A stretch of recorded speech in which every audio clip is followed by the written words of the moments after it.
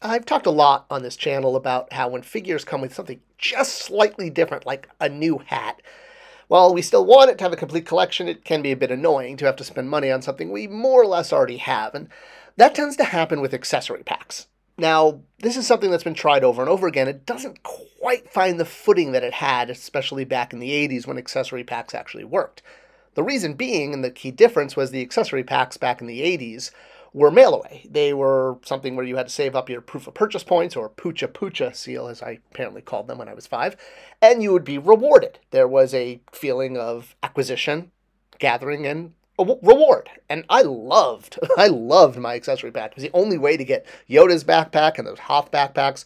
And that was the difference. Back in the vintage day, you had to mail away and put forth effort. In the modern era, we've had a lot of attempts to sell accessories just as straight retail packs, and over and over again, these just don't work because it doesn't feel like a complete purchase. Now, sometimes the attempts have been made to put an action figure in with the accessory packs, and it helps a little bit. And that's kind of what we're looking at here. This is probably the most successful of the accessory packs, but in the end, it wasn't that much of a success that the entire second wave got canceled. We'll hit on that at the end. All right, so the accessory pack you're looking at here came out during the Attack of the Clones saga era, and they essentially contained an army builder character with a whole bunch of piece count. And what was really great was some of the piece count for all of the packs was brand new, which is kind of what got me to buy them. I'm only an original trilogy collector, I've noted, so I'm not going to cover the Arena Conflict set, which was the uh, fourth one in the K's pack. This was an Attack of the Clones themed set where you got a battle droid and a whole bunch of stuff from the arena, like Jango Fett's helmet, some generic lightsabers, etc., etc., a bunch of chains for your S&M fun, and a very heavy decoed cannon to go on his back. All right, so let's look at the original trilogy offerings, and that was three of them. The first being the Hoth Survival accessory set, which feels like it should just include a Tauntaun stomach, but it doesn't. Instead, it includes, like all the other packs, a trooper, and a bunch of accessories. Now, Hoth troopers are great for accessory packs because there's such a huge variety of them. And fans, collectors are willing to have a large army of slightly different looking ones because that's honestly how it was in the movie. It's kind of like how the rebels had to you know, scrape together their stuff. So having slight repaints of things like Hoth soldiers is very acceptable to collectors, whereas for other soldiers, not so much. You have to have the variety on screen to justify this. And this figure in particular is what's called a, a uh, kit bash.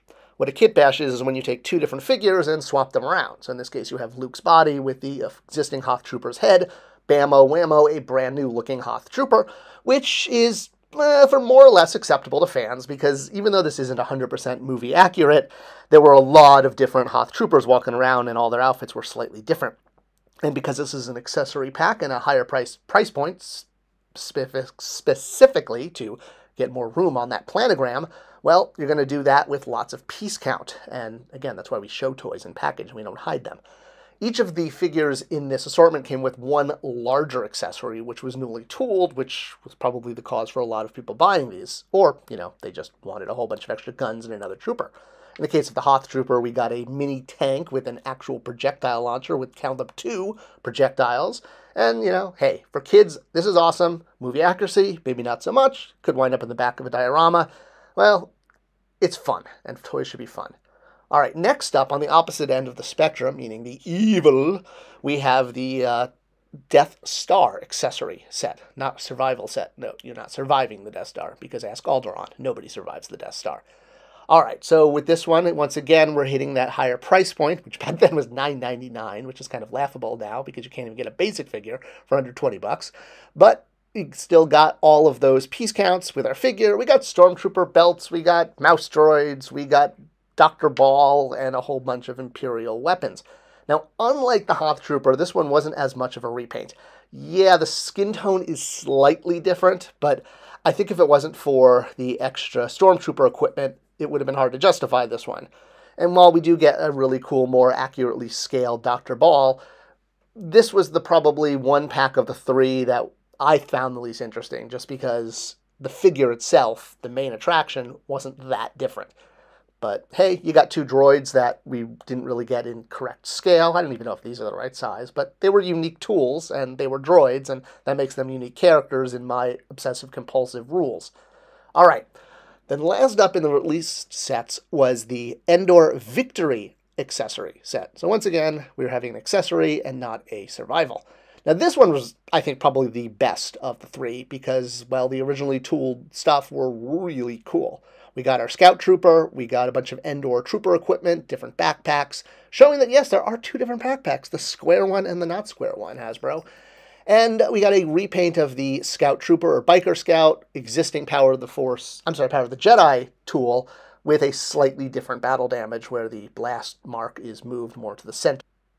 And then I think for most people, the highlight of the set was the originally tooled item, the Ewok drum set from the celebration, which, yeah, really cool. Imperial helmets for uh, for drums and, and and sticks to hit them with.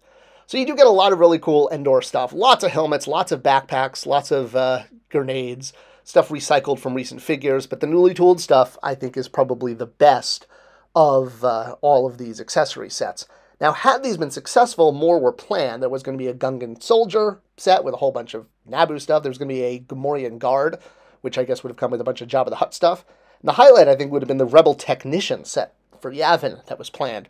We had at this point not received this figure either in the original Kenner line or in the modern Hasbro line. So this would have been a true awesome accessory set because it would have had an original character. We did eventually get this character released in a uh, box set with uh, Red Leader and his droid and the little cart thing to drive him around. So, hey, we did get this figure, but if the accessory packs had been successful, we might have gotten him a lot earlier and with a lot more stuff packed in with him. Who knows?